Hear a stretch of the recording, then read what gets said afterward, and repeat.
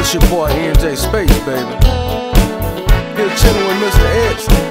And I ain't gonna lie, that sissy lady right there and caught my eye. oh yeah, sexy lady out there on the floor.